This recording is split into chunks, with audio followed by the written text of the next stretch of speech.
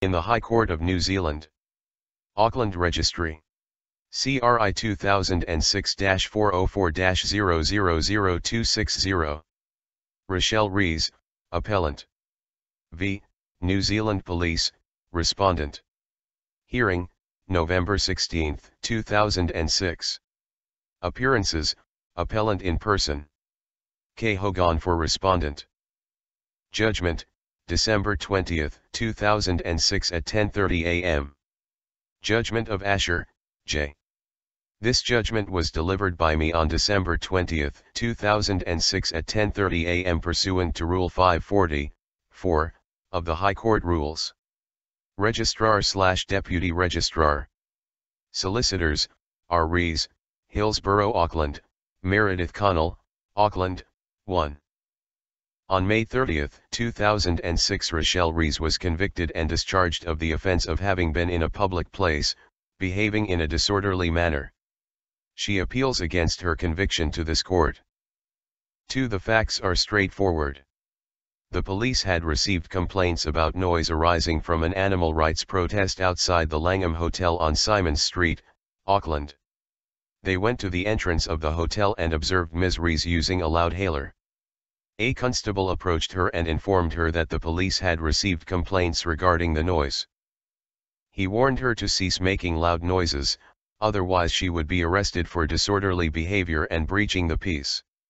After a short space of time he observed Ms. Turn the loud hailer on again and yell slogans through it.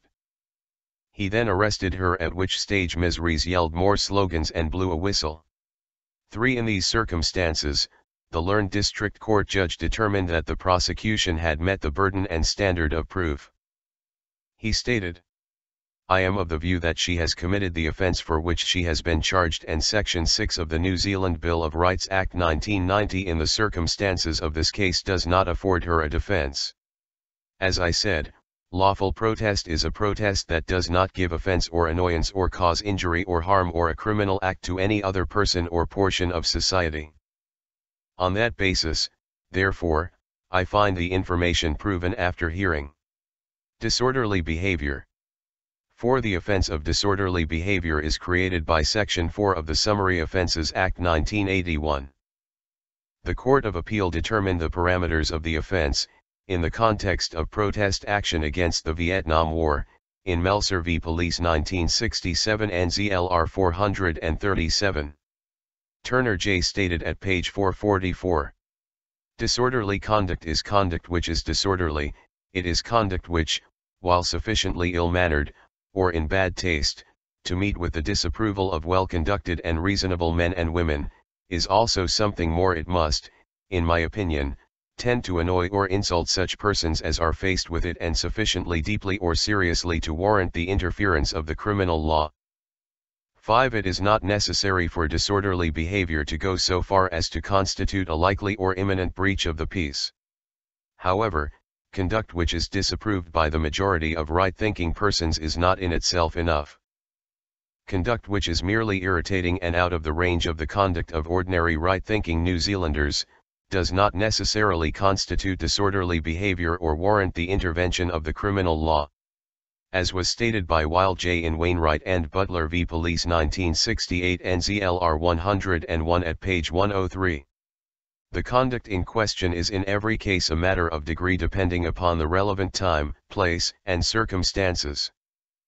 Conduct that is acceptable at a football match or boxing match may well be disorderly at a musical or dramatic performance. Behavior that is permissible at a political meeting may deeply offend at a religious gathering. The principles set out in Melser v. Police and Wainwright and Butler v. Police have been applied since by New Zealand courts. 6. The fact that conduct causes annoyance to members of the community, and perhaps serious annoyance, is not enough in itself. Freedom to protest is a fundamental right in any democratic society, Melser v. Police, page 445 per McCarthy J. That right to protest can extend to making a loud and even annoying noise. This freedom was reiterated in the recent Court of Appeal decision R. v. Brooker 2004 NZAR 68, Paragraph 28.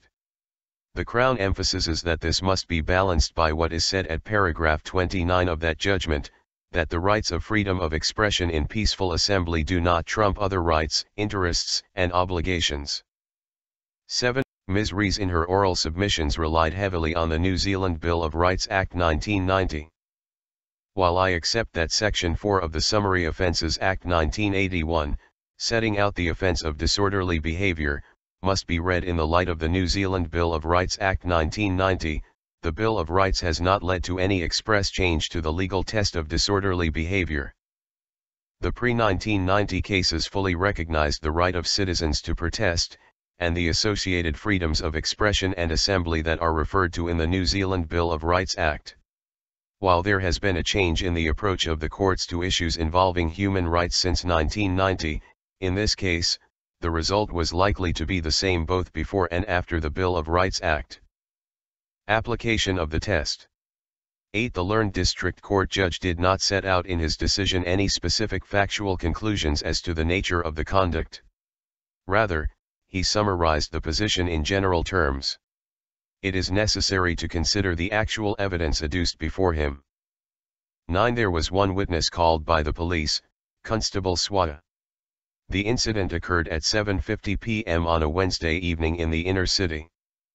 The evidence was that Ms. Rees was outside the hotel, and yelling through a loud hailer, acting as a leader in a chant.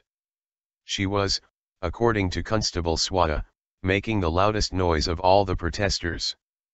Her remarks were addressed to those in the hotel.